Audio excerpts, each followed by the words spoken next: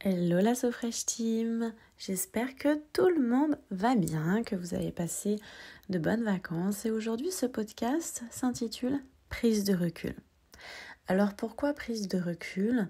Prise de recul dans l'interprétation de votre poids une fois que vous êtes rentré de vacances. Les vacances, les grandes vacances surtout, euh, sont assez rares dans l'année finalement par rapport au reste du temps de l'année et elles sont faites pour lâcher prise, pour profiter.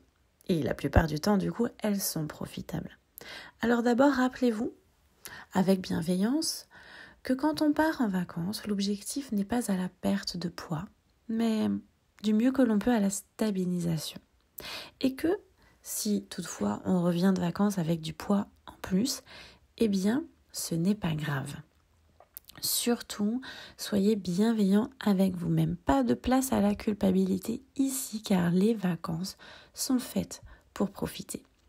Alors rappelez-vous que vous pouvez utiliser cette fameuse journée de rattrapage du lendemain sur une ou même deux journées, attention, deux jours maximum.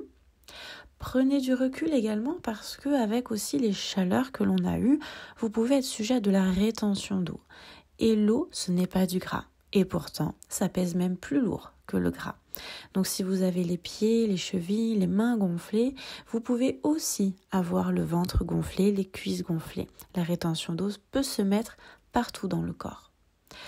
Donc aujourd'hui, on retient prise de recul et aussi bienveillance. Maintenant que vous êtes rentré de vacances, que vous avez ou que vous allez appliquer votre, votre journée, votre outil de rattrapage du lendemain, et bien ensuite, on reprend son programme et toutes les bonnes habitudes. Et moi, je vous dis à très vite pour votre suivi du mois de septembre.